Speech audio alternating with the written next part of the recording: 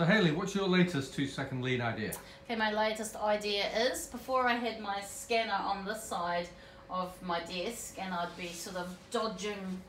bits and pieces to try and look at my screen um, and now I have moved it to this side and I can just easily scan it and it's not in the way of anything so great